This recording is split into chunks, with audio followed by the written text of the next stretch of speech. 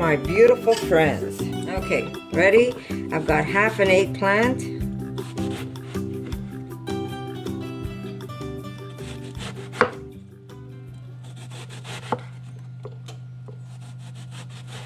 Actually, you know what? I'm going to put this in my food processor, make my life easier. I don't know why I didn't think of it earlier.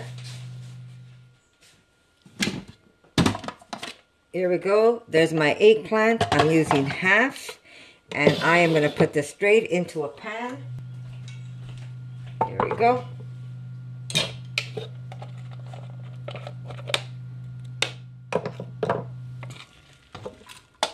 That's half an eggplant.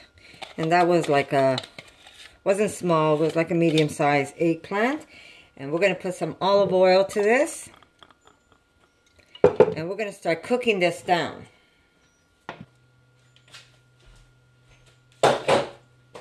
And we're going to get some portobello mushrooms.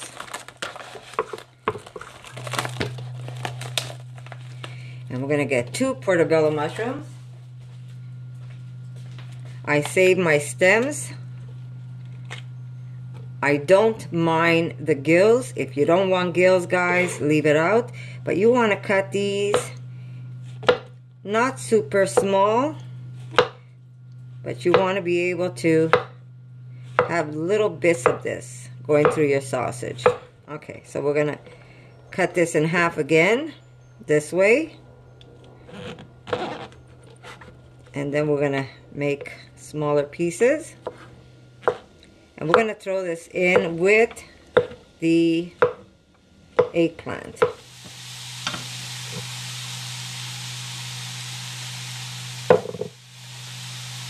Now you don't want to have that on too high because it's going to stick to the pan. You want to have it on a, I would say, medium to lowish heat and just reduce the water add out of the uh, the eggplant.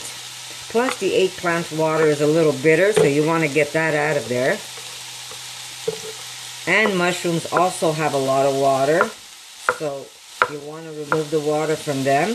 And what it does is it gives it a nice meaty, chewier texture.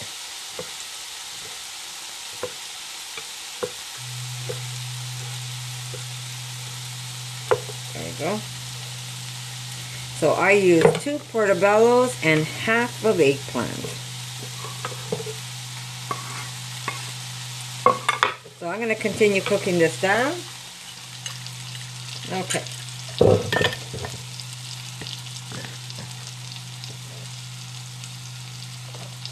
One, and I'm going to do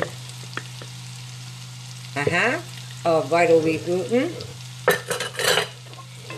If we need more, we will add more and I will make sure to mark it for you.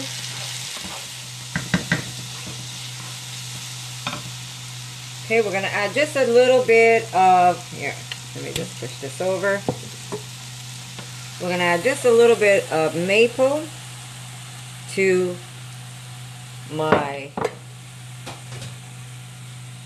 oh, I need this. Sorry. I'm adding just a little bit of maple to this. We're going to add a little bit of salt.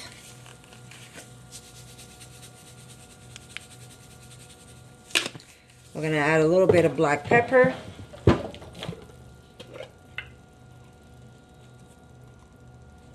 There we go. We're not going to add the garlic here. We're going to add the garlic to the gluten. And put this back on the burner.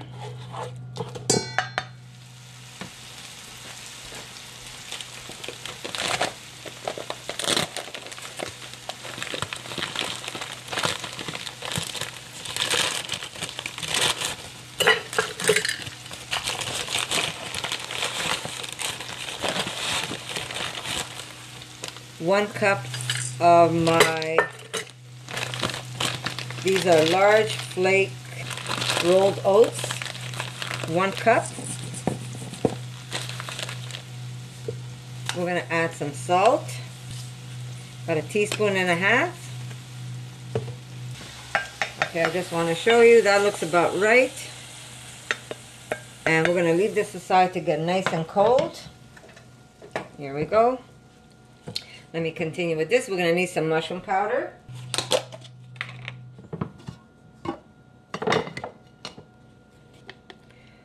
One, two mushroom powders.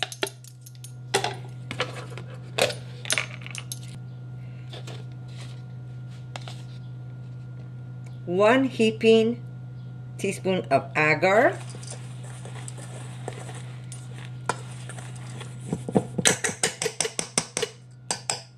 There we go. Okay, we're gonna get some sun-dried tomatoes. Okay, we've got one, two, three, four, five, six halves of sun-dried tomatoes. And we're going to cut those up. Now, if you don't have sun-dried tomatoes, I would say just simply leave it out. Or what you could do is maybe put a couple of, maybe a tablespoon of um, tomato paste. If you don't have the sun-dried tomato. Just so you get that little bit of tomato taste in your sausage.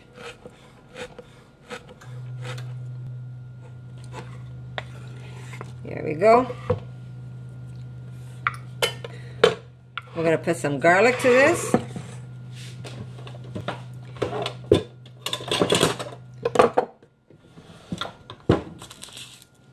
Okay, we've got about four cloves of garlic.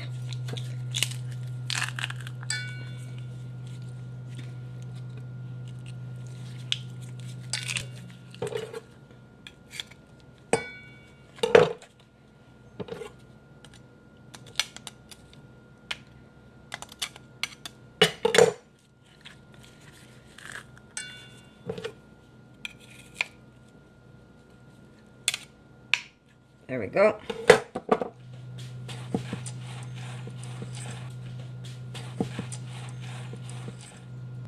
Okay, so we're just going to push this back for now. We're going to grate half a beet or so.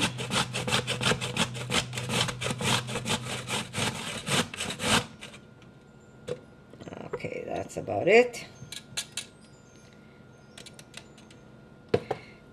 And we're going to add it.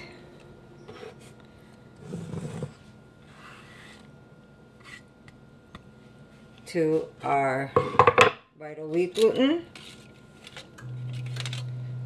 There we go. Just going to quickly toss this so it doesn't stick all in one place.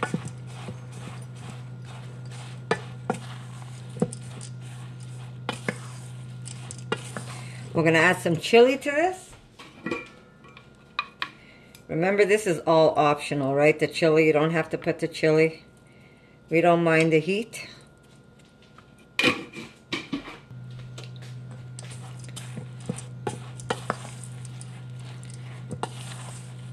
Got the cheese.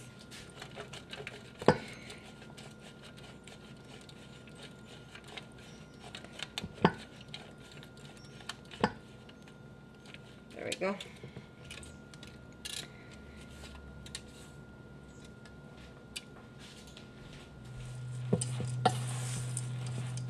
All right. I am now going to add my mixture of mushroom and eggplant.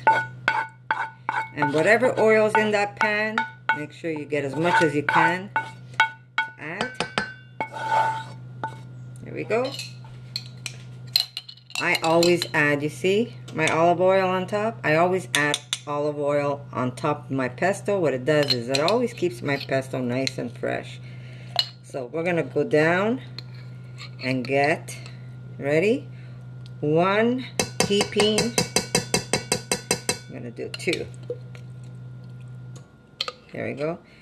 Two heaping tablespoons of pesto. And this is the pesto I make, which is really, really easy to make, guys. If you want to make it, all you have to do, I'm sure that if, anyhow, I wanted to tell you that it's very easy to make pesto. If you go to, especially in the summer, go to a garden center, uh, you should be able to uh, get some pesto there, some uh, basil plants there, and just follow my recipe. It's very simple. It's not hard to make at all.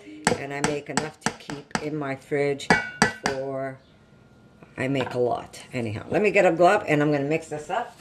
And pesto is just one of those things that you just need to have in the fridge. It goes good on anything.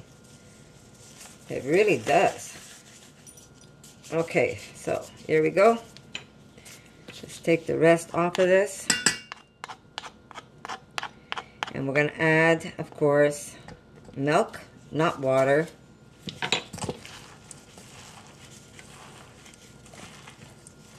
Just want to make sure that everything is mixed even first.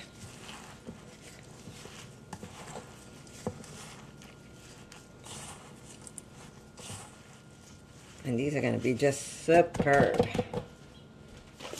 Okay, we're going to start off again with a third cup. So here's one third cup.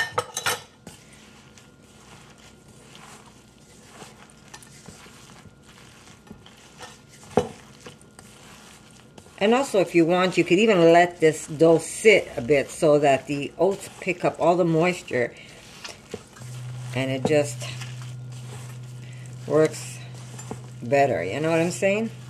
You don't have to, but if you want to, you can do it that way. Just flip it over. I'm going to get more than eight sausages, I think, this time around because I used, no, maybe still eight sausage. Yeah, I'm going to need more milk. I'm going to use, let me tell you, one, two, maybe two and a half tablespoons for now. Remember, always better to use less and work your way up and just dive in.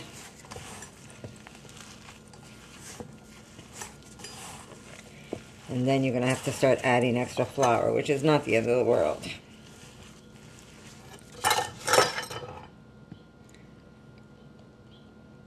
We might need two-thirds. I use a third plus another third. This time we needed more milk than we did yesterday's sausage. Really, really good. Nice eggplant. Mushroom taste. I'm going to add just a little extra pesto. Just adds that extra flavor.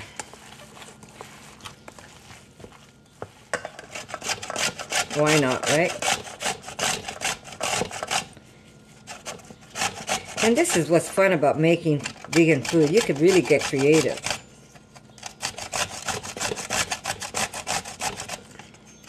You eat what you put in.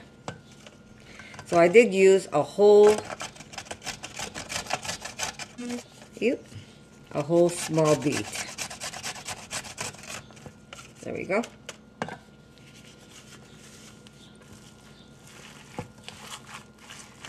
Okay. Okay, like I said, if you're using a pressure cooker, doesn't really take long, 30 minutes, 45 minutes. What I do is I put it for 45 minutes and then I just let it sit there. If you're using a steamer, an hour minimum. That means if you want to do even a little longer, it could stay a little longer. The only problem is with a steamer, you got to check to make sure that that water didn't evaporate on you. So do check for that. Um, so we're going to wrap these up. Okay.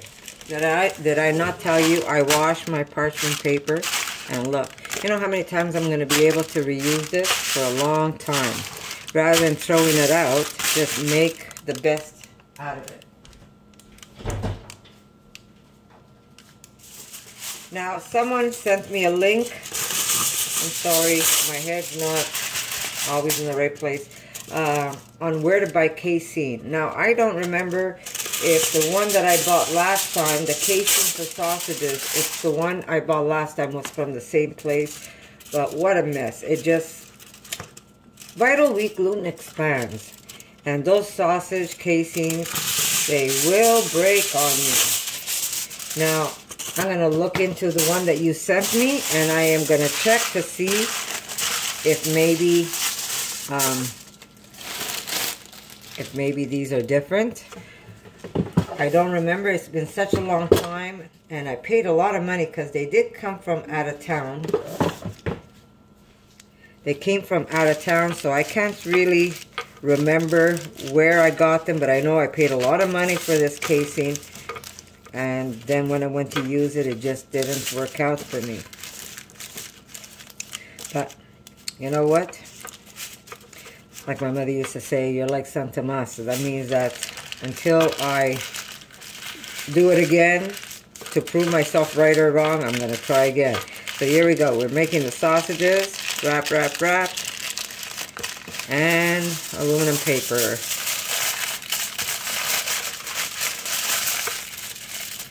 Squeeze in, turn, squeeze in, turn.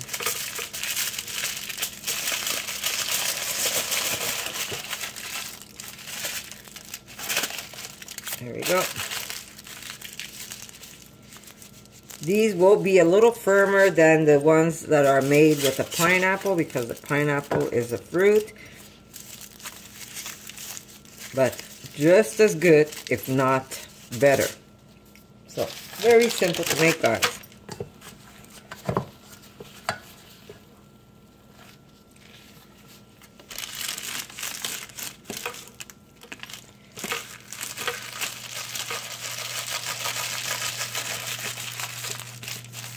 Now, someone asked me if you can uh, put it in some banana, I think banana leaves. Someone asked if you can just pinch this with some Q-tips. Well, you're not going to get a perfect sausage shape, but I guess if you're okay with not having that perfect shape, then if it's okay for you, it's okay for me, right?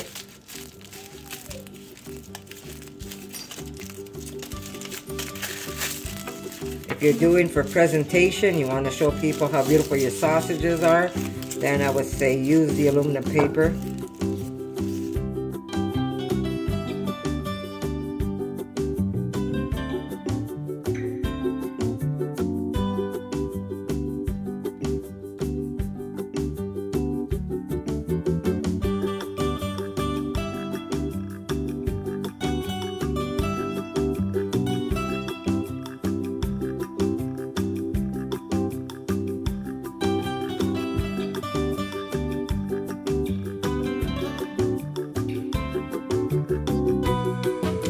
I'm gonna show you my sausage.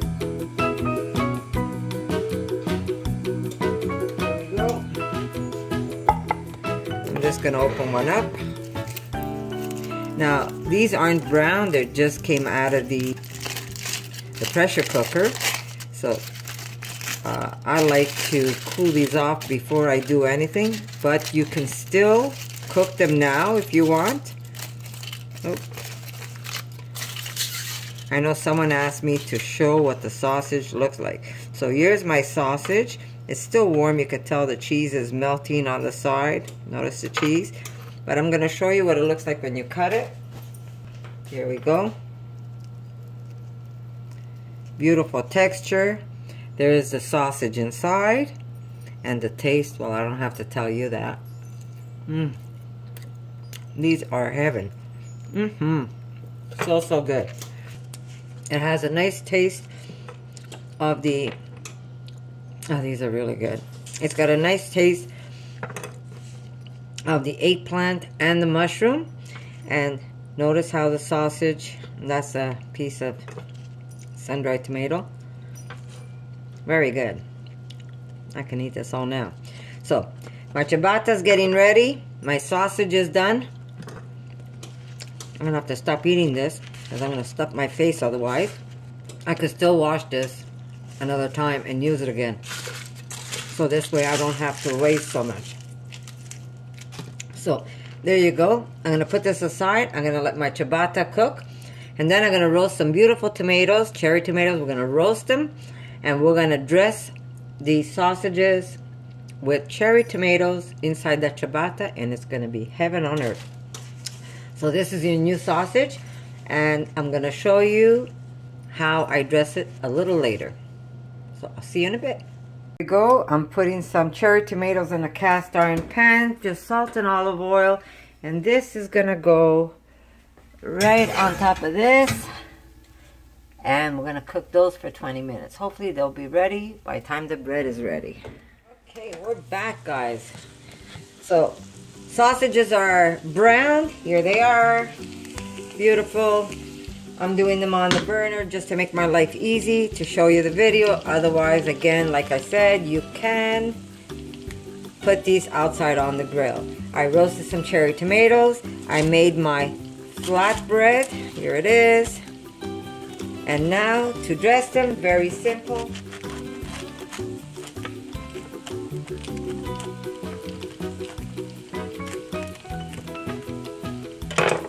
Here it is.